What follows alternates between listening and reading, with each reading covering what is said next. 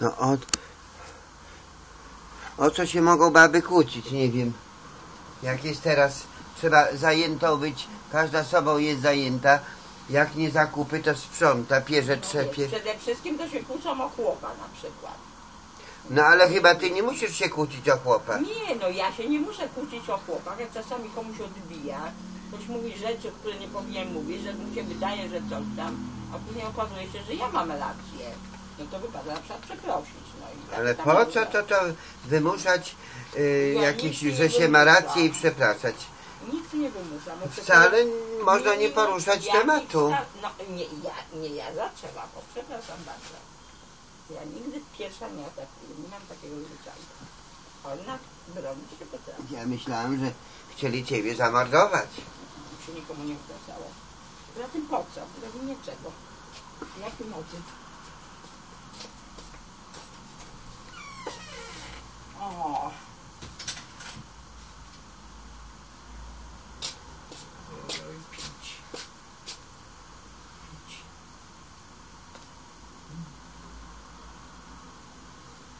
No tam właśnie dolać tej wody, bo w czajniku już jest. Ja wiem, ale tam ta jest gorąca mi się, się chce już pić. Uuu.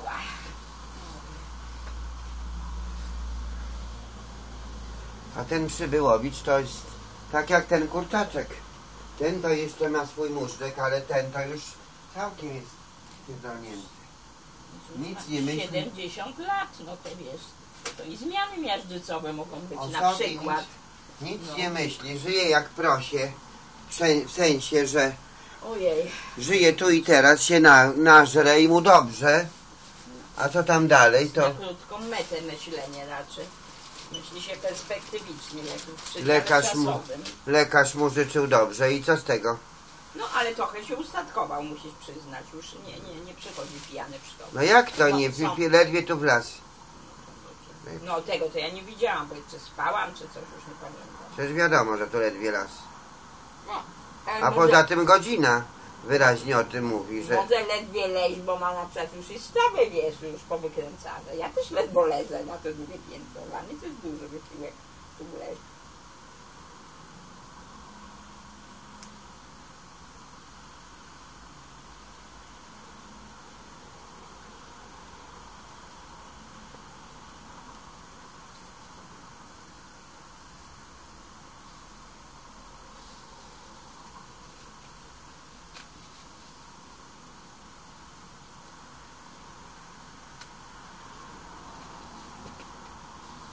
Tak jak mówię, nawet słyszałam, że facet chodzi z taką chudą Żydóweczką, No. taki brzydki, stary, ale jakiś artysta w takiej kurtce skórzanej i bardzo źle mówił o tym Przybyłowiczu, ale bardzo źle, że w sensie co go to go obchodzi, ale powiedział jakąś prawdę, że to to hołota przychodzi tylko, żeby się napić. Zjeść jak gdyby było, owszem, ale tylko nic go nie interesuje, a to przecież udaje, że on udaje, że go sztuka interesuje. To przecież widać. No ale przecież No. to nie on jeden, a te inne niebieskie ptaki to co? To on e, e, uważa, że on kulturę przez wysokie C. Ja ci coś powiem.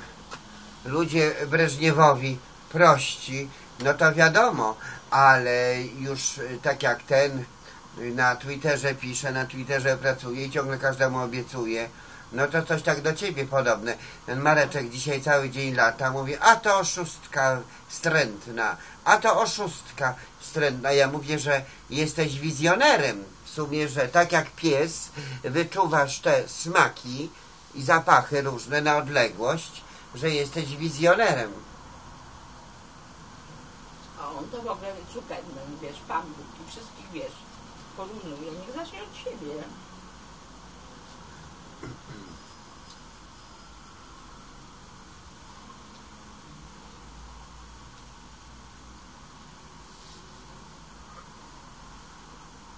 Ojej. Także. Radio Koncita, radiem Koncita, ale ludzie są jak te świnie i tak. Ja wiem, że przyjemnie jest, jest wolna chwila, że nie ma tego stresu, chociaż ja lubię, jak coś się dzieje w sumie.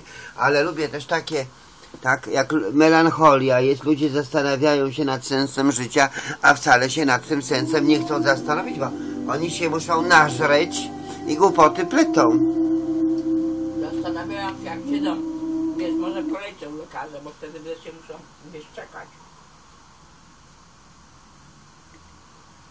ma przedstawić projekt wytycznych dla Komisji Europejskiej do negocjacji w Londynie. Terytorium miesiąc mają zaakceptować państwa członkowskie, z których innymi Komisja będzie prowadziła rokowania.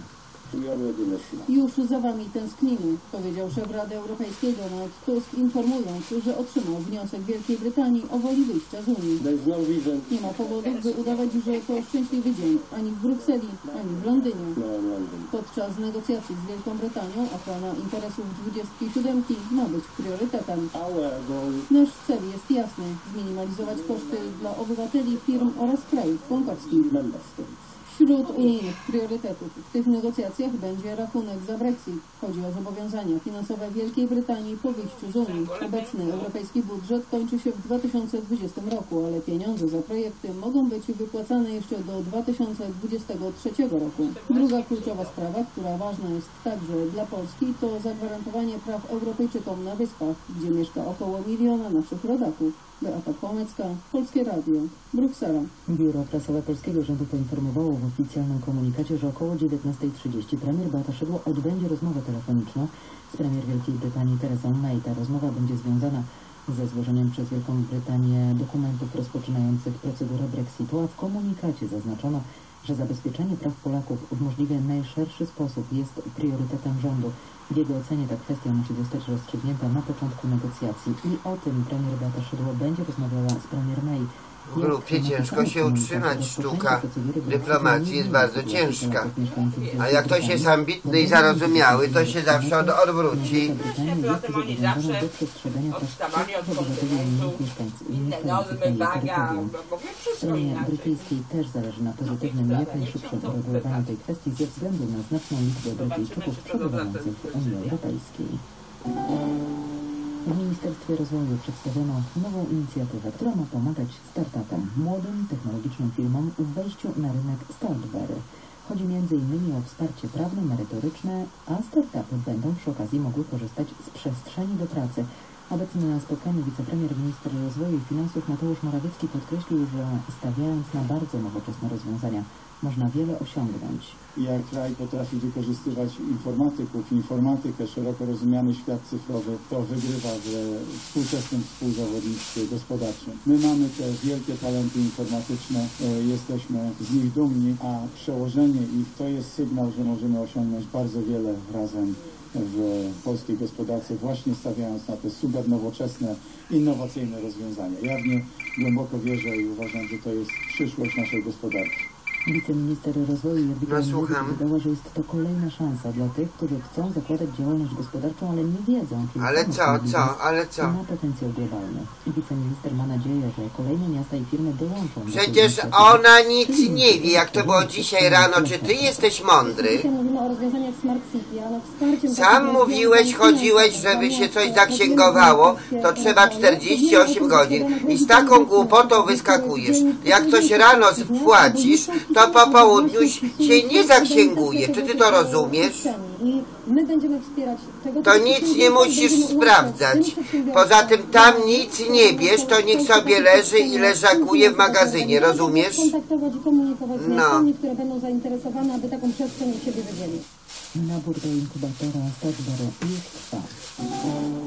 A na koniec jeszcze Moskwa, bo kolejna z rosyjskich partii reprezentowanych w parlamencie zainteresowała się doniesieniami o korupcyjnej działalności premiera. Najpierw komuniści, teraz Sprawiedliwa Rosja chce, aby Dmitrij Miedwiediew odniósł się do zarzutu przyjmowania korzyści majątkowych od oligarchów. Z Moskwy Maciej Jastrzębski.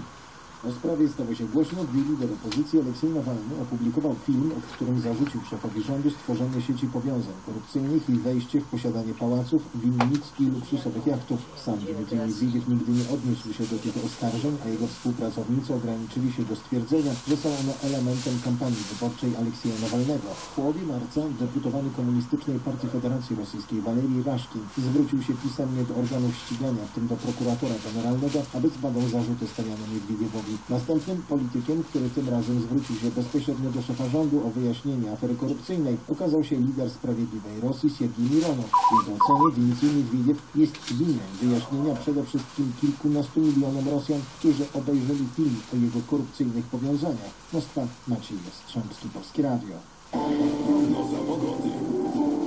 Do Polski dociera powoli front atmosferyczny, który przyniesie deszcz i wiatr. Popada przynajmniej do północy, ale potem stopniowo będzie się przejaśniać. Wiatr jednak może być miejscami silny i porywisty, a na termometrach w nocy od 3 do 9 stopni tylko na Suwalszczyźnie i Mazurach możliwy niewielki przygruntowy przymrozek. Polskie Radio 24. Słowem wszystko. Reklama. Marty? Mają, co się dzieje?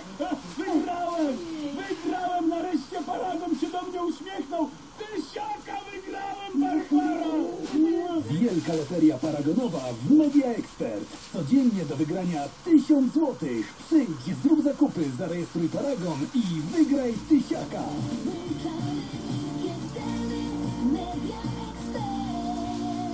Regulamin loterii dostępny w sklepach i na mediaexpert.pl. Wygodnie? No wygodnie. Ale mogłoby być wygodniej. Elegancko? Niewątpliwie. Ale czy nie dałoby się z jeszcze większą klasą? Korzystnie? Pewnie można trochę korzystniej.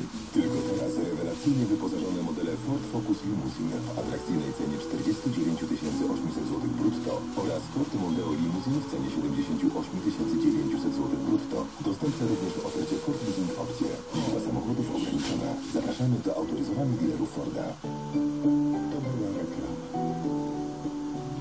Jeszcze 9,5 minuty po godzinie 18. Polskie Radio 24.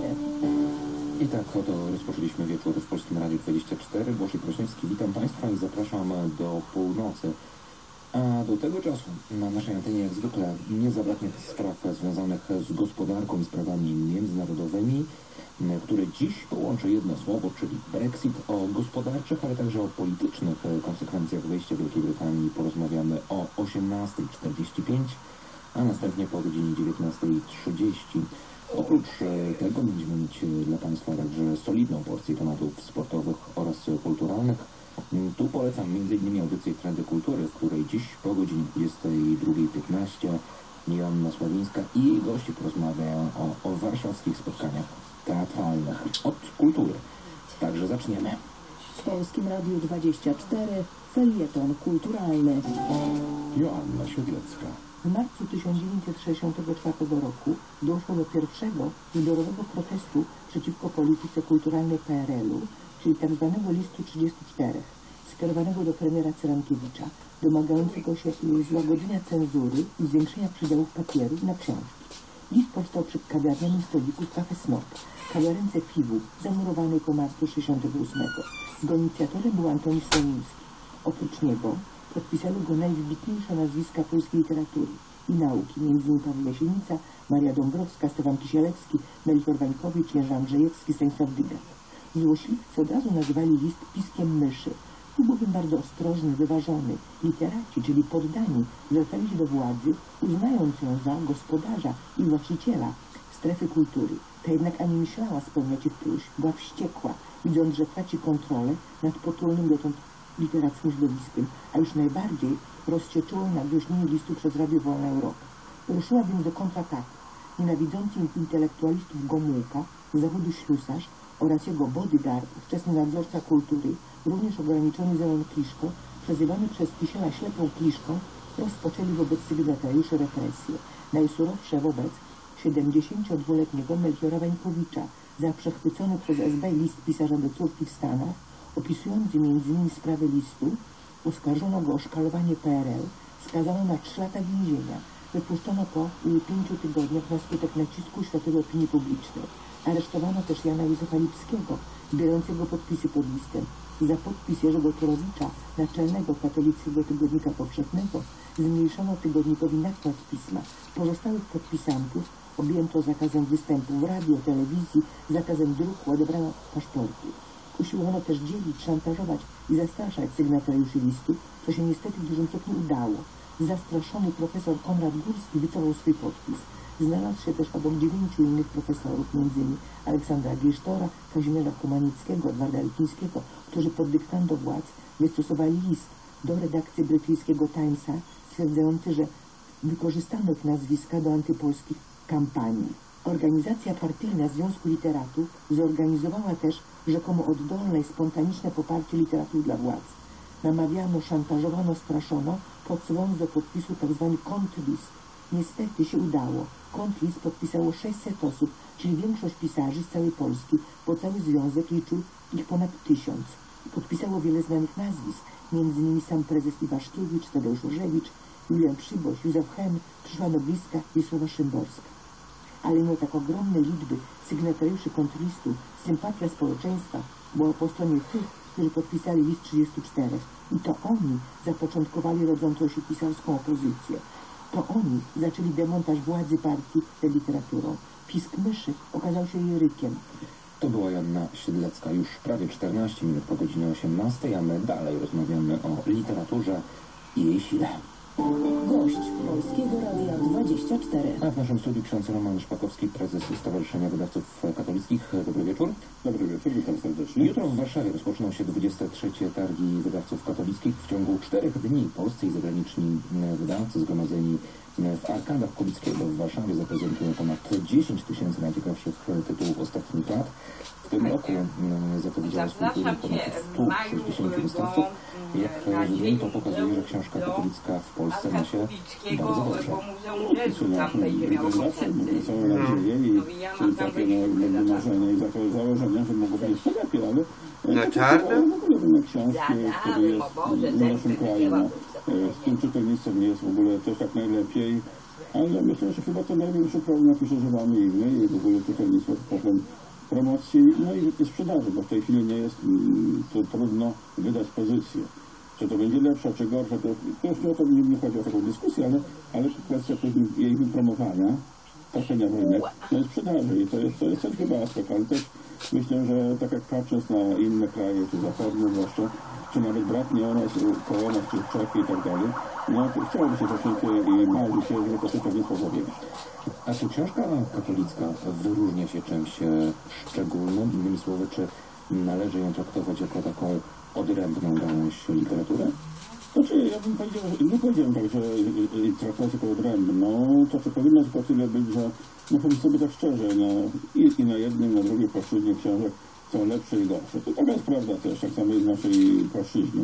Natomiast tak prawdę mówiąc, ta książka no, katolicka e, z założenia, czy chrześcijańska, czy katolicka powinna mieć no, te dobre wartości, dobre przesłanie. E, Jak najbardziej no, język no, związany z kulturą, też, a więc kulturalny, bez jakichś tam wulgaryzmów i tak dalej. Wiele spraw można bardzo przystojnie język powiedzieć, nie muszą być jakieś tam wulgaryzmy, które czasami gdzieś tam towarzyszą w tym. I dlatego też myślę, że ta misja edukacyjna, my no, powiemy ewangelizacyjna, formacyjna, powinna być przede wszystkim to, jeżeli coś, to tylko to przede wszystkim powinno odróżniać, acz- aczkolwiek w moim mniemaniu, w moim odczuciu dobra książka, czy to będzie świecka, czy nawet będą książka, która niesie no, te dobre wartości, przyjaźń, piękno, szczęście, e, rodzina i tak dalej. Proszę księdza, a jak dziś wygląda rynek książki e, katolickiej? Wiemy, że no niestety niewielu Polaków e, czyta, to pokazują chociażby badania Biblioteki Narodowej, więc jak rozumiem e, grono odbiorców książki katolickiej jest tak samo ograniczone jak książki e, normalnej. Natomiast e, czy e, wydawcy katoliccy zmagają się z takimi samymi problemami jak e, wydawcy e, książek, nazwijmy to w cudzysłowie, e, laickich? Znaczy, bym powiedział, że zmagają się z takimi samymi na pewno. Po drugie też jeszcze jest chyba jeden problem, który taki może bardziej dotyczy. Kwestia, e, my nie mamy, to, i tutaj jest jakieś tam pewne ubolewanie i, i chciałoby się, żeby to powstało, takiej no dobrej e, siły, e, czy dobrej e, dystrybucji książki katolickiej. Z reguły włączamy się, czy jesteśmy połączeni z tymi dystry, dystrybucją książki, nazwijmy tak jak Pan powiedział, tej laickiej. Nie ma wprost takiej mocnej hurtowni, typowo tylko książek religijnych, aczkolwiek mniejsze czy większe są. I to może troszeczkę jest ten słabszy, e, słabsza gałąź. Natomiast myślę, że przy książce i katolickiej, ale także i przy ksią- książce tej laickiej, świeckiej, bym powiedział tak, że to wszystko zależy, jak my potrafimy sprzedać, powiedzmy w cudzysłowie, ten towar, to czyli w momencie książkę.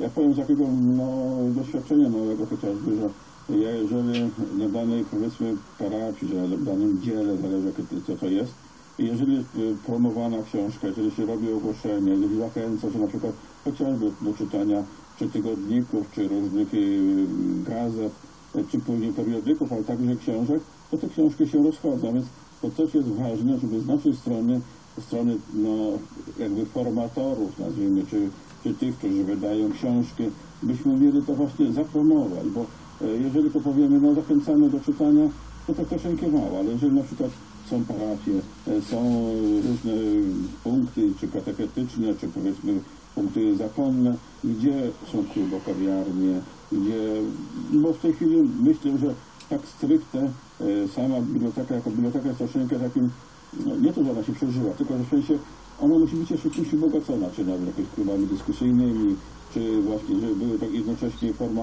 książki w formacie i elektronicznej, i tej tradycyjnej.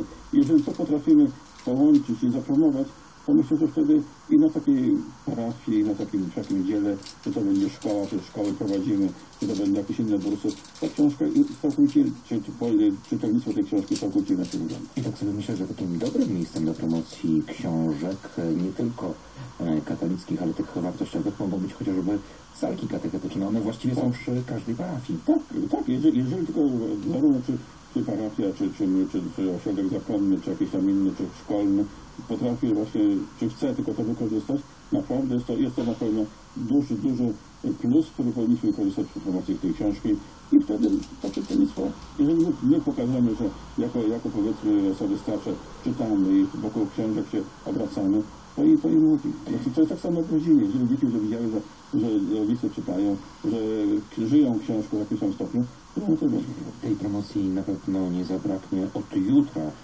w Arkadach Kulickiego w Warszawie, gdzie m, rozpoczynają się 23 targi wydawców katolickich. Co będzie w tym roku motywem przewodnim? Każde, każdego roku targi nasze wpisują się w ten zasadniczy, to, to zasadnicze hasło roku duszpasterskiego. E, W tym roku jest to iść i głosić, czyli jednocześnie głosienie i i gło- głosić, ale także i świadczyć swoją postawą, ale, ale i także jakby pokazywać tą misję tych książek, jak one w jaki sposób oddziałują, ale także włączamy się w taki jakby mm, y, szczegółowszy temat, mianowicie tak zwany rok No się zaczynają w Kubickiego targi. które- które A potem będzie za trzy dni na Kawęczyńskiej Bazylice będzie piękny koncert za darmo. Będzie rozdanie nagród zakonnicom i poproszą do wyższej szkoły na banki. E, Połączenie czy włączenie w ten rok e, I wróci się o 10:00. tego brata Alberta, który no, widzimy, czy znamy w większości przynajmniej. Na sobotę, bo to będzie o ósmej. i Na Kawęczyńskiej będzie rozdanie nagród. e, I zaproszą e, tam do wyższej szkoły biznesowej, tam na bankiet.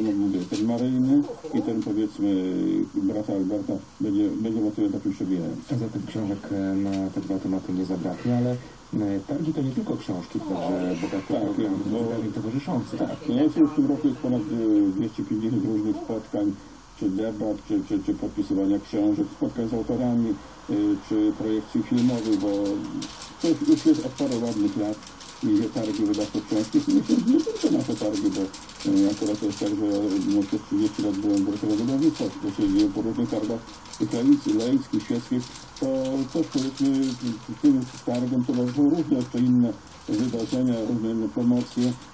I dlatego też te targi nasze również stają się takim jakby świętem, takimi dniami dobrych, dobrych in- informacji, ale dobrych mediów, mediów zarówno i tych tradycyjnych, takich jak książka tradycyjna, ale i tych elektronicznych, będą także debaty, spotkania na temat chociażby mediów społecznościowych.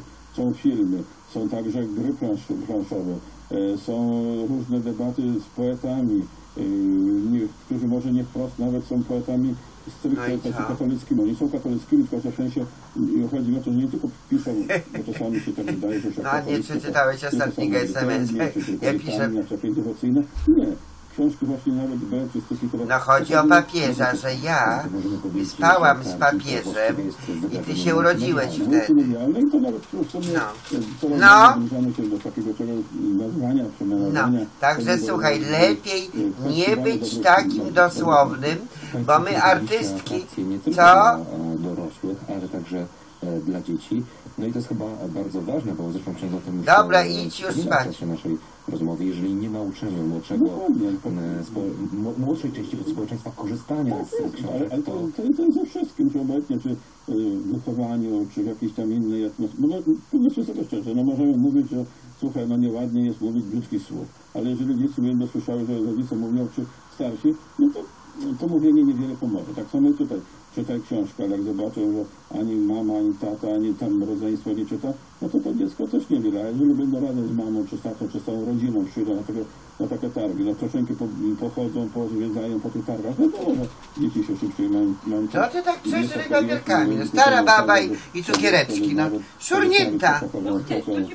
A idź! Dla zabaw dziecięcych, ale w tych, w tych zabawach to będą tak jakby zabawy edukacyjne związane z książką, choćby rodzinne czytanie bajek, czy e, różnych aktorów, e, wspólne czytanie, e, czy chociażby zabawy, ja tak się nawet troszeczkę uśmiecham, że będą tak zwane książki do gryzienia, to dziecko żeby dotknęło, żeby ono miało takie odbycie, co to jest ta książka. Dziecko to by się podnieciło, a po co tobie to?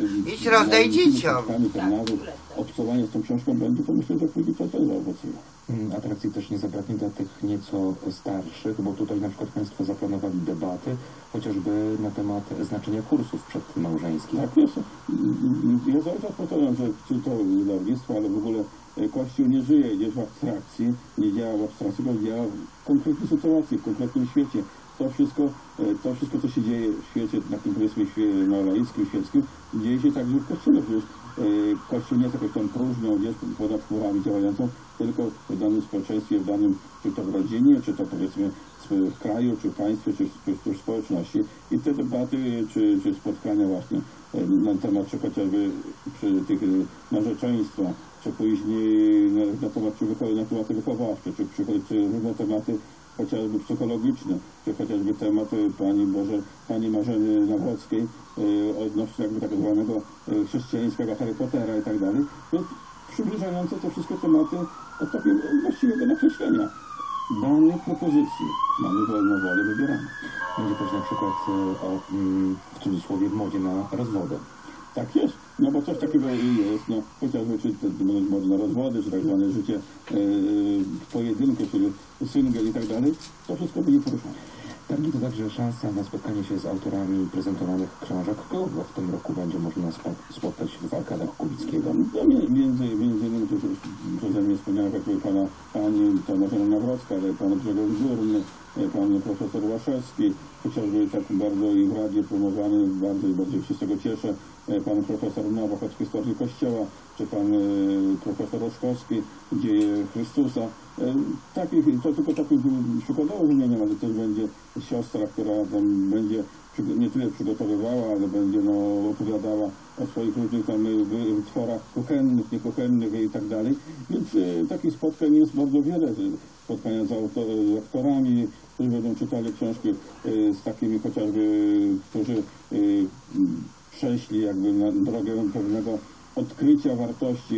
Sz- Szli taką czynną, zawirowaną drogą, no, różne są nasze, nasze drogi. Y, y, W pewnym momencie odkryli y, no, właściwą tą drogę, jakby dają takie y, książka, ale jednocześnie i, i swoje świadectwo. Będzie tak chociażby raz na początku, jak się rozpoczyna dyskusja na temat wychowania, kształcenia, chociażby z księdzem kardynałem Grofalewskim, który no i w świecie, i w Polsce dużo włożył wielki wkład w powstawanie różnych wydziałów teologicznych, e, różnych uniwersytetów, a więc no, szeroka gama takich różnych dyskusji, chociażby prezentacja e, ikon e, i pisanie ikon, a jednocześnie będzie przy tej okazji występ e, chóru prawosławnego, a więc to są bardzo różne.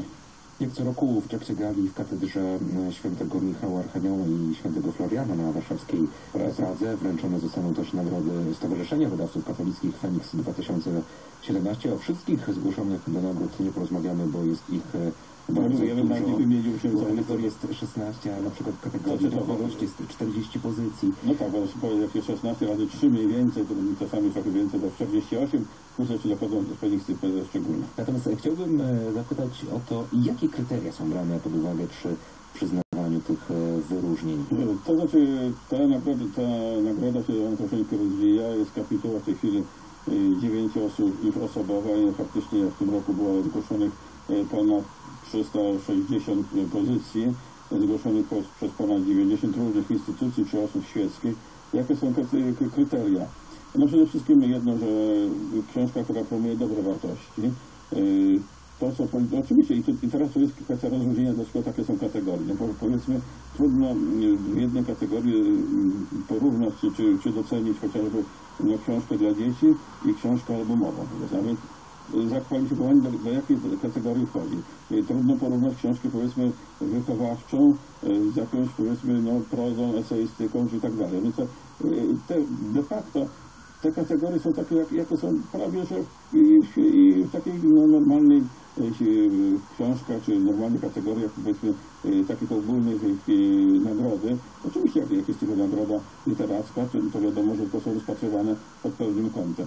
Natomiast też jest i chociażby kwestia wydania, więc kry- kry- kryteria edytorstwa, e, kryteria no, e, chociażby tłumacz, a więc jak to zos- zostało przetłumaczone. To wymaga kapituły dużo, dużo wysiłku, aczkolwiek jestem z jednej strony się cieszę z tego takiego podejścia, że większość z tych e, członków kapituły cały rok śledzi te książki, które, wychodzi, które wychodziły, bo to dotyczy zawsze ubiegłego roku i jak przychodzi na obrady, to jeżeli, ja nie wiem, że wszystkie są przeczytane, no bo 360 przeczytać absolutnie jest to niemożliwe, ale w większości są kilka członków są znane, takie naprawdę no, dyskusje są dość, dość bogate i tak jakby dzisiaj, tak jakby w tym roku no, powstała ta 16 kategoria sztuka.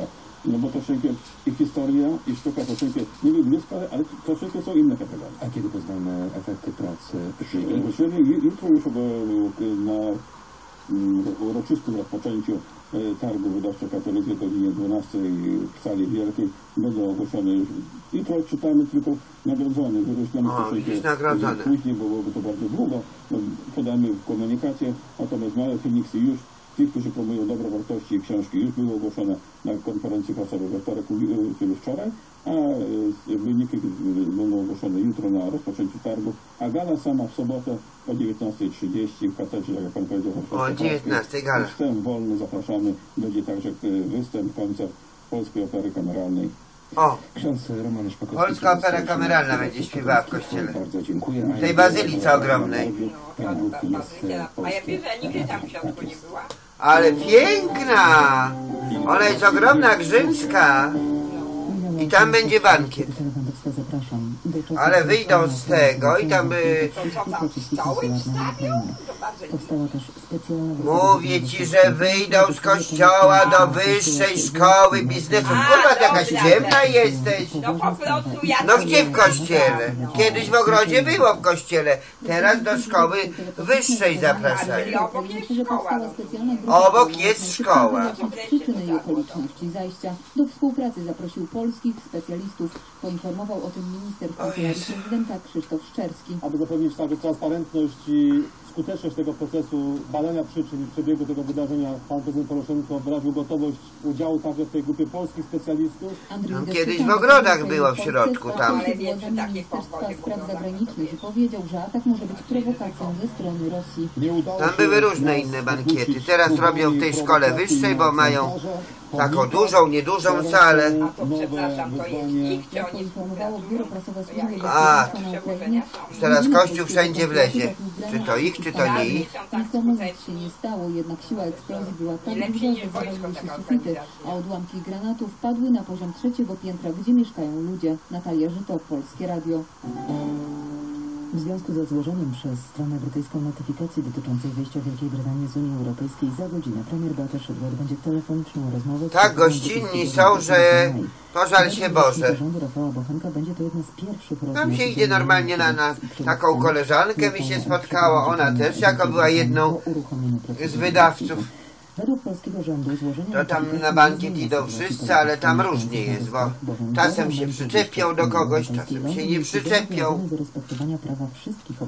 Taki tam dziad łaził e, i tak e, chciałby u- upłynnić, bo to, bo ludzie jedzą, bo ludzie piją, to a moim zdaniem to powinni zapraszać ludzi do jedzenia, do picia.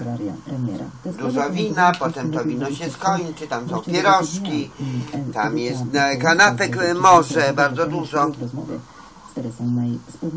Ale moim zdaniem to tak jakby po pogańsku trochę, nie dość, że ta katedra jest pogańska, bo ma takie te słupy rzymskie. Tak, rzeczywiście ona jest na, na, na Wszystkich, którzy tam e, teraz pracują, a te e, zakładają między innymi taki limit zarobku. Ugotować paczkę makaronu za będzie 98 groszy, zrobić gulaszem, najeść się i człowiek będzie syty, a to będzie tam gdzieś lazło. Ale jak starej babie czy komu, to przecież wypada tam wejść.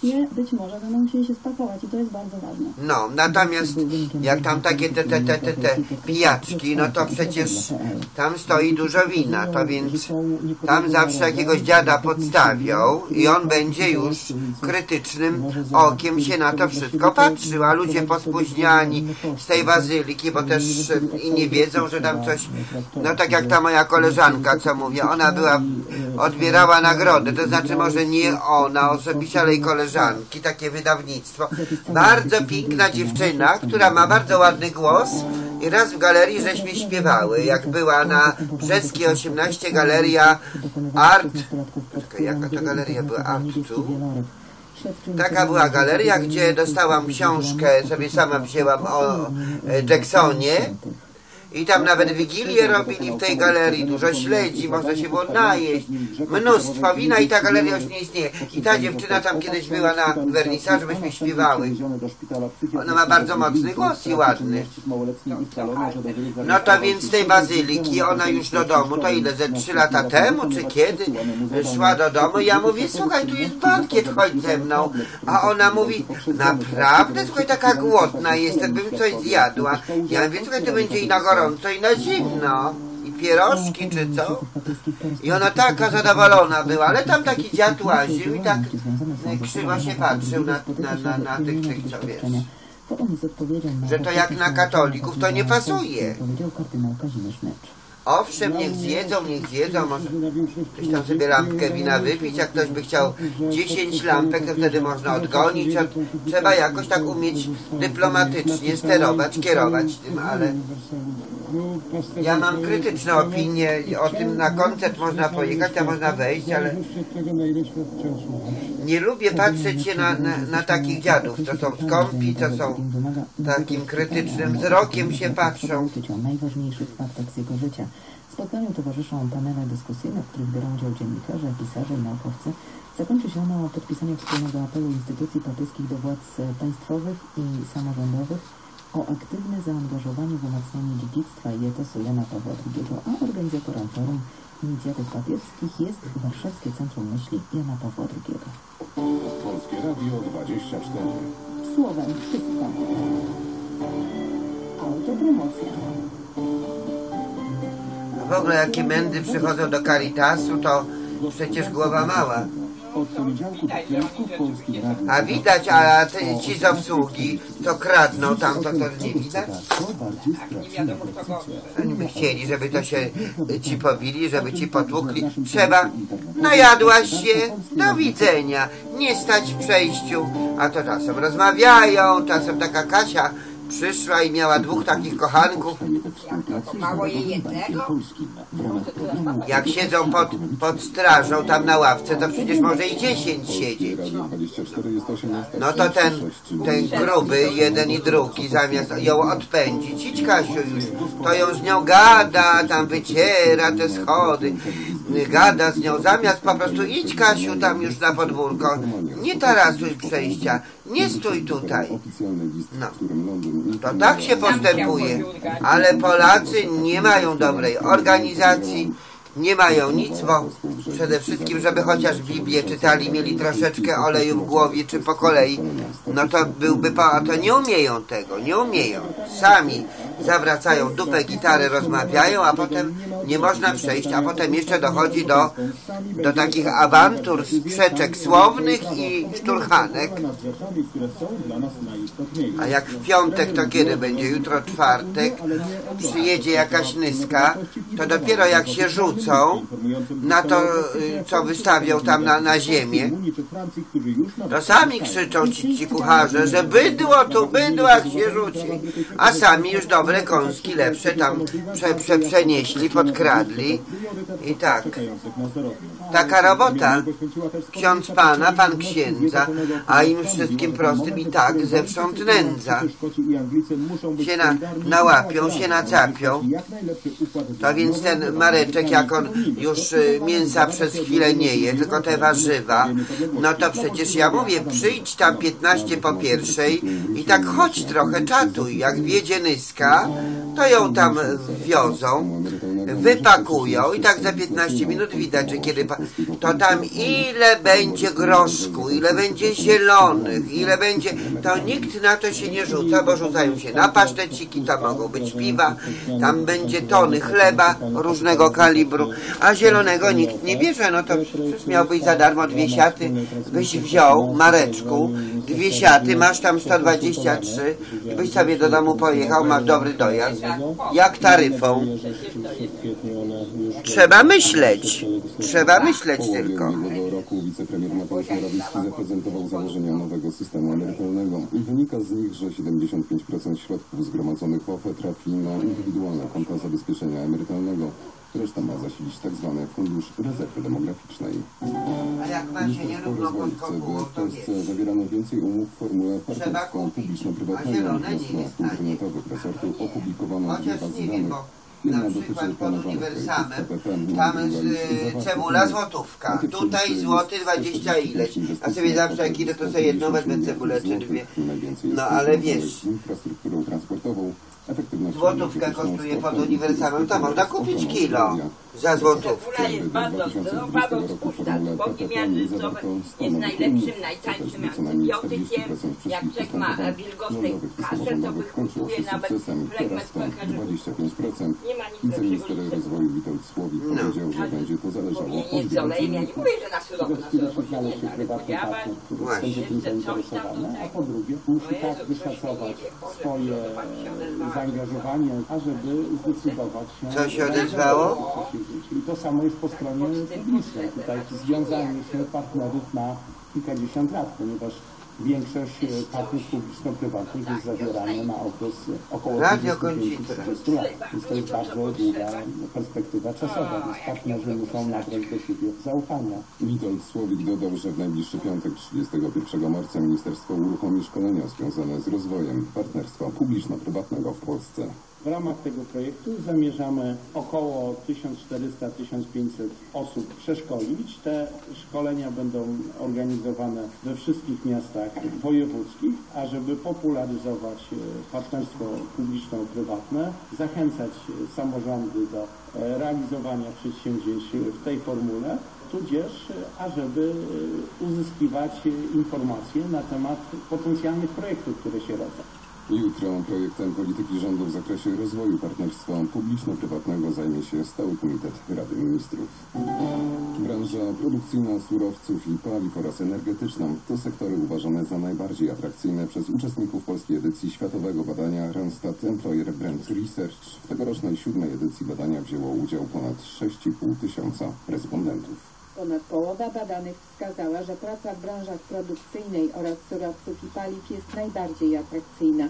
48% respondentów ocenia tak branżę energetyczną.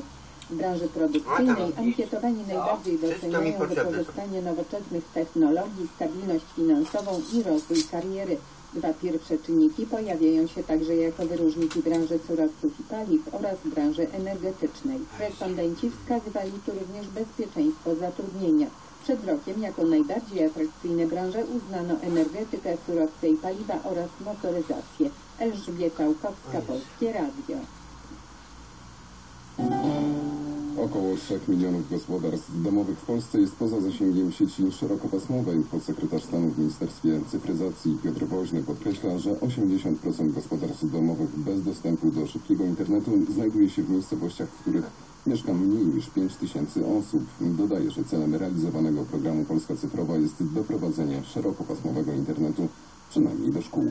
Podzieliliśmy Polskę na 79 obszarów konkursowych. Wprowadziliśmy jeden niezwykle bardzo ważny wymóg. Możesz wybierać gospodarstwa domowe, które podłączysz, ale musisz podłączyć wszystkie szkoły, które znajdują się na terenie obszaru konkursowego. Włożyliśmy szkoły na sztandar programu operacyjnego Polska Cyfrowa, ponieważ działamy w warunkach ograniczonego budżetu. Na wszystko nam środków nie starczy, ale na to, żeby doprowadzić szerokopasmowe dostępy do 19,5 tysiąca placówek oświatowych w Polsce, na to powinniśmy znaleźć pieniądze.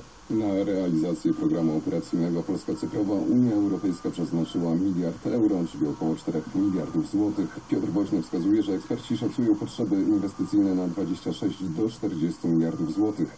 Dodaje jednak, że pojawiają się inwestorzy zainteresowani rozwojem szybkiego internetu w Polsce.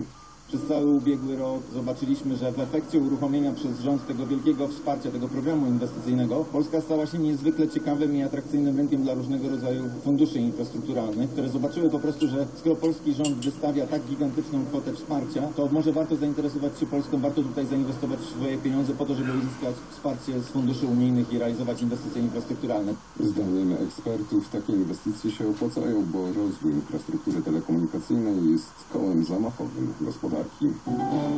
W dalszym ciągu spadają ceny paliw. W ciągu ostatniego tygodnia, w zależności od rodzaju, cena paliwa, litra paliwa spadła od 2 do 6 groszy, no od początku miesiąca od 7 nawet do 14 groszy.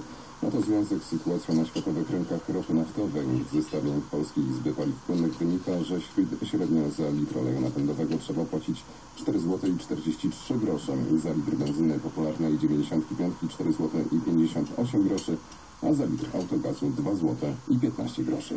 Ceny paliw w Polsce są bardzo zróżnicowane. Tradycyjnie najdrożej jest w województwie zachodniopomorskim. Tam również w tym tygodniu zapłacimy najwięcej za olej napędowy, benzynę oraz autogaz.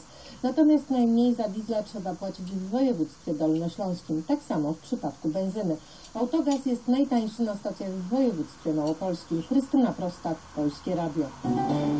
I proszę Państwa, zaglądamy na warszawską giełdę. Dzisiaj sesja zakończyła się kolorem czerwonym. Indeks największych spółek giełdowych WIG20 stracił 49%. To nie była najlepsza sesja. Dziś traciła większość spółek z głównego parkietu, z głównego indeksu. A jest to pokłosie rozpoczęcia procedury wyjścia Wielkiej Brytanii z Unii Europejskiej, komentuje Michał Staniak, analityk XTB. Nastroje na początku sesji były bardzo dobre, natomiast w okolice godziny 13, kiedy e, oficjalnie rozpoczęto procedurę Brexitu, wtedy właśnie WIG20 zszedł poniżej kreski i zaczęło tracić większość e, spółek. Jak spojrzymy na rynek walutowy, to złoty nadal jest mocny. Obecnie za euro płacimy 4 zł i 23 grosze. Dolar kosztuje 3,93, funt brytyjski 4,88, a kurs franka szwajcarskiego to 3 zł i 94 grosze. Więcej informacji znajdą Państwo na stronie gospodarka Polskie Radio.pl. Dominik Oleński, dziękuję za uwagę, a już teraz Elżbieta Szczerbak i jej gość. Gospodarka dla każdego w Polskim Radiu 24. Elżbieta Szczerbak, witam. Dziś moim Państwa gościem jest dr Adam Czerniak ze Szkoły Głównej Handlowej, główny ekonomista polityki Insight. Dzień dobry. Dzień dobry Pani, dzień dobry Państwu. Dziś oficjalnie rozpoczyna się Brexit. Premier Wielkiej Brytanii Theresa May podpisała list, który formalnie rozpoczyna wyjście Zjednoczonego Królestwa z Unii Europejskiej. Za nami również wystąpienie brytyjskiej premier, która poinformowała o tym parlament i która mówiła, że przed Wielką Brytanią rysuje się jasna przyszłość. No właśnie, pytanie, czy rzeczywiście tak będzie. Przypomnijmy też, że Brexit został zapoczątkowany przez referendum, które odbyło się w czerwcu 2016 roku. Pisano wówczas negatywne scenariusze, które nie sprawdziły się. Czy zatem Wielka Brytania straci na wyjściu z Unii Europejskiej, czy nie? Zacznijmy od tego, że te scenariusze, które były kreślone tuż po brytyjskim referendum, tak naprawdę dotyczyły nie samej decyzji Brytyjczyków o wyjściu Wielkiej Brytanii z Unii Europejskiej, ale o stanie faktycznym momencie, w którym Wielka Brytania wyjdzie z Unii Europejskiej, a do tego, jak wiemy, jeszcze będzie Wielkiej Brytanii co najmniej dwa lata brakować, więc te scenariusze, które były wtedy kreślone bardzo takie negatywne, jeszcze mają szansę się ziścić. Oczywiście e, część ekonomistów i analityków spodziewała się, że ze względu na ten negatywny jednak z punktu widzenia brytyjskiej gospodarki, europejskiej wymiany handlowej, przepływu inwestycji, wynik brytyjskiego referendum wpłynie negatywnie na nastroje gospodarcze, nastroje konsumentów, nastroje przedsiębiorców i już będziemy odczuwać konsekwencje nawet tego samego głosowania mm, w Wielkiej Brytanii. To się nie wydarzyło. E, Faktycznie nastroje przedsiębiorców pomimo przejściowego spadku trzymały się na stosunkowo wysokim poziomie. Nastroje konsumentów w ogóle się poprawiły, co pewnie było jakimś zbiegiem okoliczności, ale jednak Trzeba powiedzieć, że częściowo także Brytyjczycy zareagowali z optymizmem na wyjście z Unii Europejskiej. No więc y, tutaj tych takich bezpośrednich negatywnych konsekwencji nie było, co nie znaczy, że jeszcze ich nie będzie, bo to, że tych scenariuszy nie było, w mojej ocenie wynikało z tego, że Brytyjczycy sami, a zwłaszcza przedsiębiorcy, sami nie wiedzieli, e, jakie będą konsekwencje wyjścia Wielkiej Brytanii z Unii. Nie byli w stanie oszacować kosztów tego wyjścia, scenariusza wyjścia, zresztą do tej pory nawet nie wiemy, czy jesteśmy e, w stanie i w jaki sposób ta Wielka Brytania będzie z tej Unii wychodzić, na jakich warunkach, jaka będzie współpraca między Wielką Brytanią a Unią Europejską. No właśnie wspomniał Pan tutaj o tych kosztach. Pieniądze będą wśród tych najważniejszych spraw do wynegocjowania między Wielką Brytanią a Unią Europejską. No mówi się tutaj, e, że prawie 60 miliardów euro e, na tyle szacuje się e, dziurę w unijnym budżecie, która zostanie po wyjściu Wielkiej Brytanii. Co to w praktyce oznacza? Wielka Brytania tak czy inaczej prawdopodobnie będzie musiała Unii Europejskiej zapłacić. Raz, że oczywiście po wyjściu Wielkiej Brytanii z Unii Europejskiej e, kraj ten będzie musiał dokładać do unijnego budżetu co najmniej do końca obecnej perspektywy budżetowej. Oczywiście może powiedzieć nie, nic nie dołożymy, wychodzimy, bawcie się sami. E, Natomiast w takiej sytuacji raczej nie liczyłbym e, na jakikolwiek wariant zwany soft Brexitem, czyli sytuację, w której Unia Europejska powie, no jasne, wychodźcie sobie z Unii Europejskiej, my waszych funtów nie potrzebujemy, poradzimy sobie sami.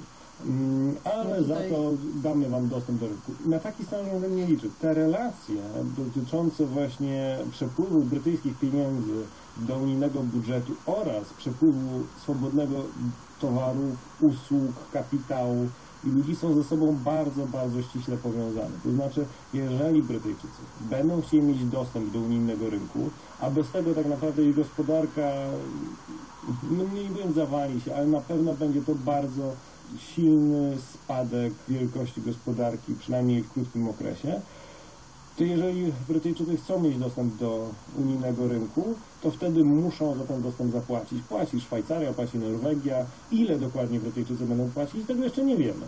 Ale z dużą pewnością można powiedzieć, że w ramach negocjacji sposobu wyjścia Wielkiej Brytanii z Unii Europejskiej temat zapłacenia za dostęp do unijnego rynku będzie i moim zdaniem Brytyjczycy koszty tego rozwodu będą musieli ponosić. No, Teresa May zapowiedziała, że to będzie twardy Brexit, że tutaj szybko wychodzimy z Unii Europejskiej. Pytanie, na ile realne jest szybkie renegocjowanie tych e, wszystkich umów, właśnie między innymi dotyczących pieniędzy. Tutaj kwestia twardego Brexitu, czy jak to Brytyjczycy nazywają hard Brexit, jest y, kluczowa, bo wydaje mi się, że sens twardego Brexitu ginie w tłumaczeniu. tak? Dla Brytyjczyków twardy Brexit oznacza co innego. Jeżeli Theresa May mówi o tym, że będzie twardy Brexit, to raczej mówi o tym, nie będziemy się godzić na swobodny przepływ ludzi, nie będziemy przyjmować więcej migrantów z Unii. Ale żaden Brytyjczyk nie myśli o tym, no dobrze, to ja nie będę mógł wyjeżdżać do Unii Europejskiej, to ja nie będę mógł sprzedawać tam swoich dóbr, nie będę mógł sprzedawać swoich usług, nie będę mógł zainwestować w Unii, bo takie będą przepisy. Więc nikt nie myśli o tego typu twardym Brexicie na wyspie. Z kolei u nas czy w Brukseli, czy w Warszawie, czy we Frankfurcie, jeżeli słyszymy słowo twardy Brexit, to myślimy sobie, no dobra, to my teraz Brytyjczykom pokażemy, jeżeli oni z nami nie chcą współpracować, to nie będą w ogóle pod żadnym pozorem mogli współpracować.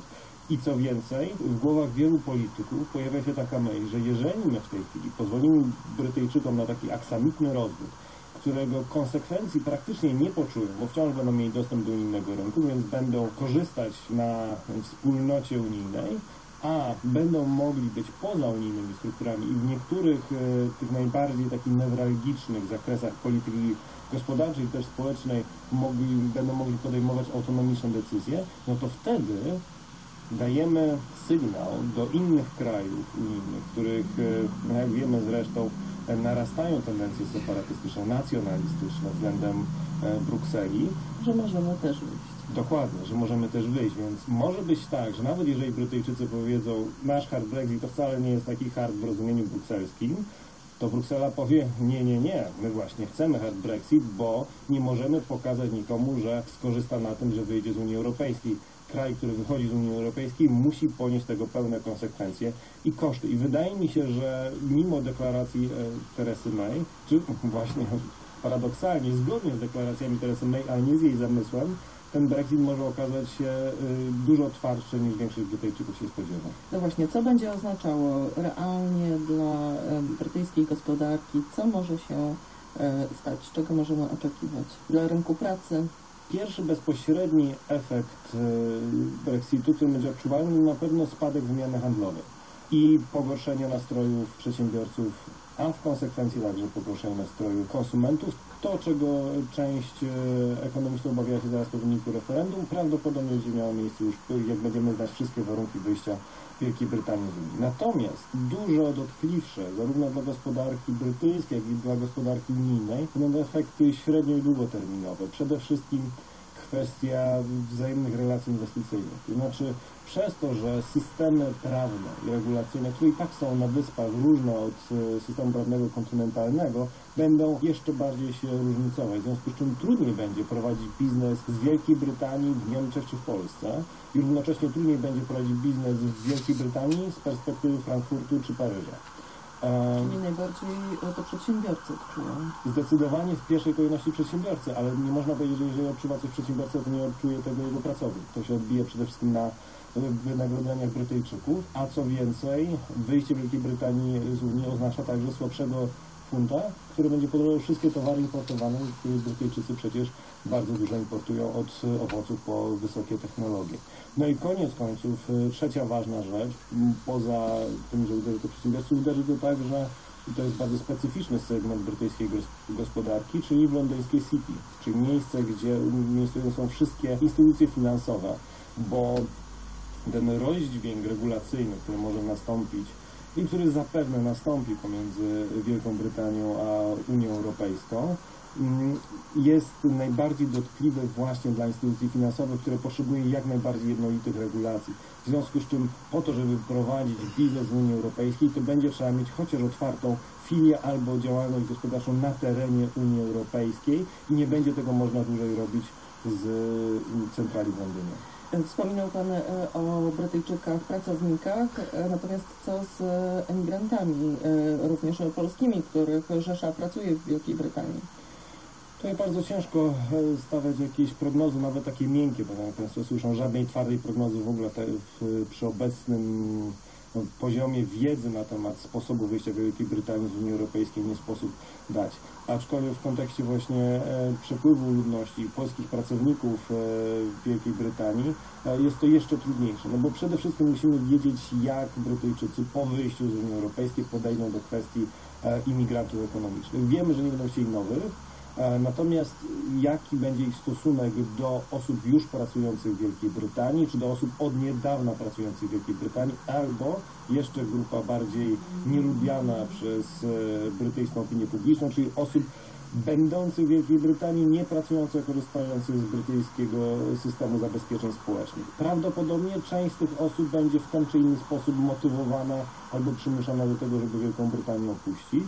Ministerstwo Rozwoju szacuje, że to będzie 200 tysięcy osób. Ja uważam, że w ogóle podawanie jakiejkolwiek liczby w tym momencie jest, e, jest mm, praktycznie bezzasadne, bo nie mamy żadnych podstaw do tego, żeby takie szacunki przeprowadzać. Natomiast e, nie spodziewałbym się, wbrew części obiegowym opiniom, że te osoby, które zostaną w jakiś sposób wydalone, czy zachęcone do tego, żeby z Wielkiej Brytanii wyjechać, trafią z powrotem do Polski. Nie, jeżeli ktoś już wyjechał za granicę po to, żeby podjąć pracę za wynagrodzenie zachodnioeuropejskie, to raczej z Wielkiej Brytanii, jeżeli gdzieś odejdzie, to odejdzie do Francji, do Niemiec, do Irlandii, gdzie, gdzie ma najbliżej, gdzie ta bariera językowa będzie najmniejsza. W związku z czym na skutek e, Brexitu nie spodziewałbym się e, masowego powrotu Polaków do kraju. Podsumowując, e, kto najbardziej straci na Brexicie? Sama Wielka Brytania czy Unia Europejska? Oczywiście, że sama Wielka Brytania. Tutaj Unia Europejska straci jedynie rykoszetem, tak? bo straci duży, duży rynek Dużego płatnika też. E, Tego jeszcze nie wiemy do końca, i jak- w jakim stopniu go straci, ale przede wszystkim e, to będzie jednak uderzenie rykoszetowe, bo osłabienie któregoś z krajów europejskich osłabia także Unię Europejską. Natomiast przede wszystkim w pierwszej kolejności bezpośredni efekt Brexitu odczują sami Brytyjczycy. Tu stawiamy kropkę. Moim Państwa gościem był dr Adam Czerniak ze Szkoły Głównej Handlowej, główny ekonomista Polityki Insight. Dziękuję za rozmowę. Dziękuję, do usłyszenia. Więcej na ten temat znajdą Państwo na stronie gospodarka polskieradio.pl. Tam także informacje o konkursie, w którym można wygrać radioodbiornik i elektroniczny zegarek sportowy. Elżbieta Szczerbak, do usłyszenia. W Polskim Radiu 24 Gospodarka dla każdego. Cykl audycji powstaje we współpracy z Narodowym Bankiem Polskim w ramach programu edukacji ekonomicznej. Reklama. Emitel to wiodący operator infrastruktury na potrzeby radiofonii i naziemnej telewizji cyfrowej w Polsce. Emitel jest liderem w rozwoju usług opartych o nowoczesne systemy łączności.